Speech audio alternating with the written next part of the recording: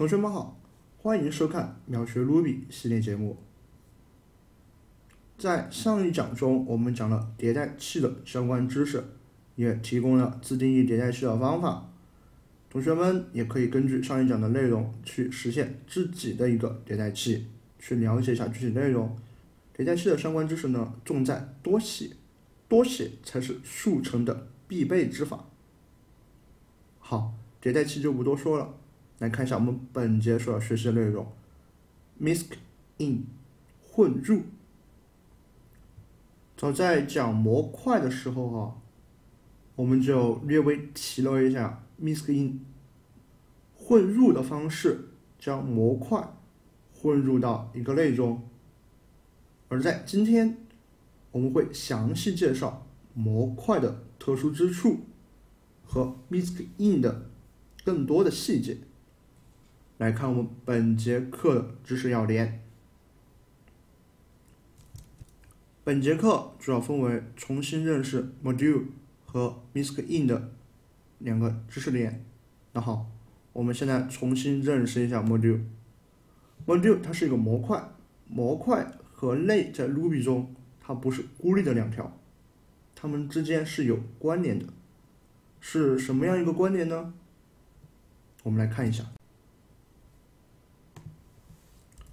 早在类的学习中的时候，那个知识节的时候，我们学习了这样一个方法或者函数，叫 superclass，是用来看一个类它的父类是谁。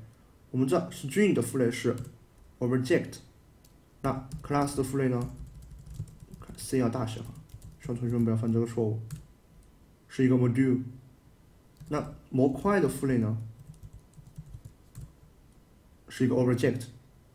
那就是说，类 class 是继承于模块，它有模块的很多的特性，这也是我们看到的。我们在学习模块的时候说模块像一个类，其实是不准确的，就相当于说是小明的爸爸像小明，这是错误的。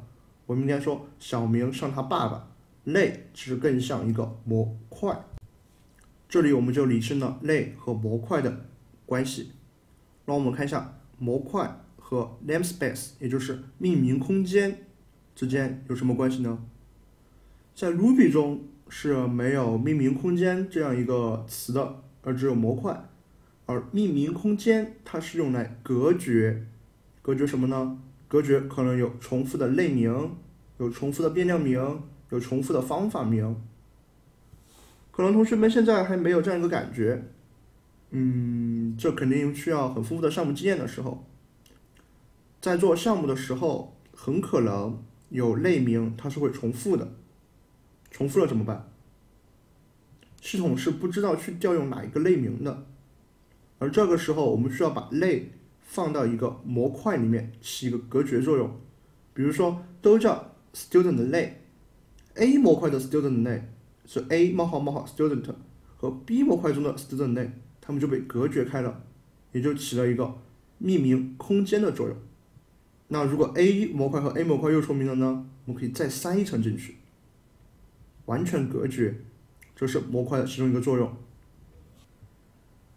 模块其实在 Ruby 开发中有很多的使用场景。那现在我来举一个比较简单的例子吧，一个叫 Device 库。这个 Device 的模块它是用来干什么的呢？做 Rails 开发的时候，同学们可能会知道，device 它是用来做用户信息验证的。就比如用户名是否正确，用户名加密，用户登录过后自动更新 IP 地址，自动更新登录时间，它就是做这样一个用途。而 device 里面它是一个大模块，它这个模块又分为了很多个小模块，比如说更新的模块。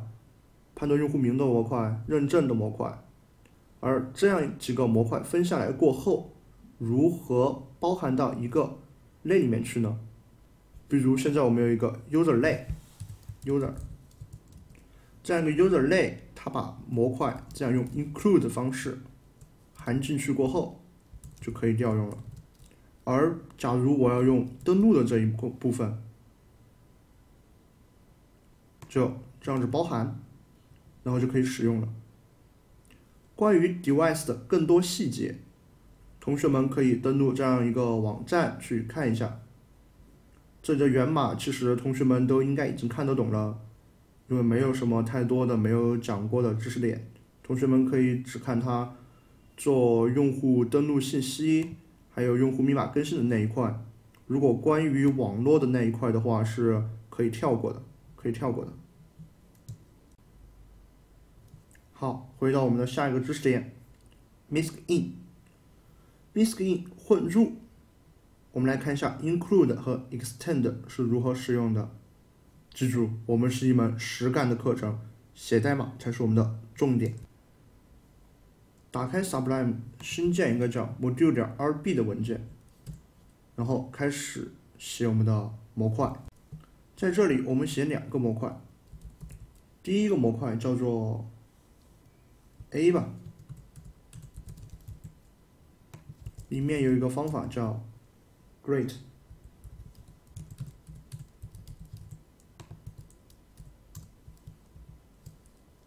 打招呼嘛，那就打招呼吧。第二个模块叫做 B，不过它里面是一个类方法，还是我们那个熟悉的 Hello。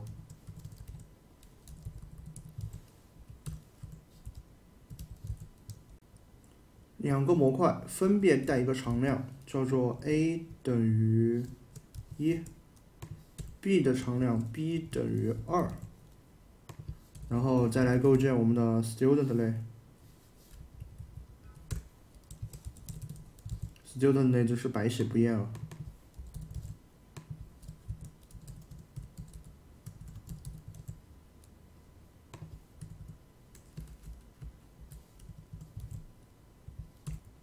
在这里，我们会分别用两种方式导入 A 模块和 B 模块。我们先用 include 的方式导入 A 模块，用 extend 的方式导入 B 模块，然后在终端里面运行，看一看会有什么样的结果。哎，好像这里有个不对的地方，同学们注意一下啊，在模块。和类的命名的时候，一定要记住，首字母一定要大写，而如果全部小写的话，在 Ruby 里面是算报错的，所以我刚才写了一个非常严重的错误代码，非常严重。好，清除错误过后，我们再用 extend 把 first 给含进来。在中段里面去跑一跑，看一看，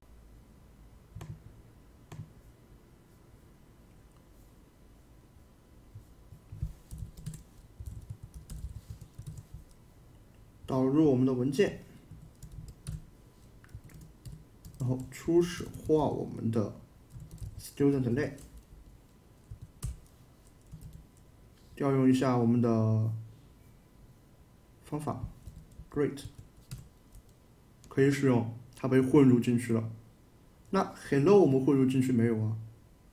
在上一次的模块的知识节中，我们用 include 混入了一次，没有成功。那我们这一次再来试一试用 extend，可以不？好，我们调用看看，没有反应，报错了。还是不能调用。那我们同时也 extend 了 first 模块，我们试一下在 student 类中能不能调用这样一个方法，是可以的。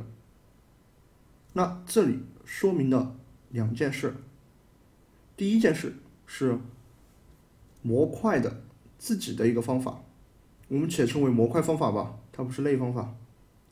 它是永远不能够被混入的，混不进去，用不起来，这是第一点。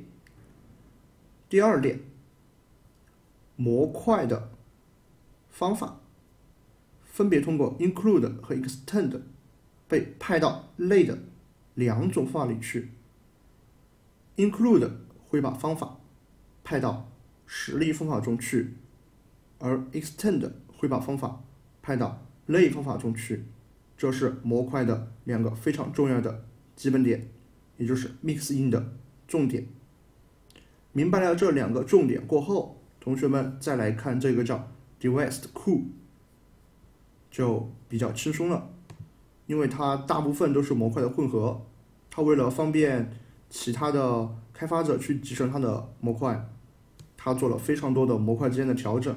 一个模块就包含好几个模块，你也可以选择性的去。混入它。好，本节课就讲到这里为止了。同学们，好好的去看一下这样一个库，这就是本节课的作业。好，谢谢大家对于本节课的收看。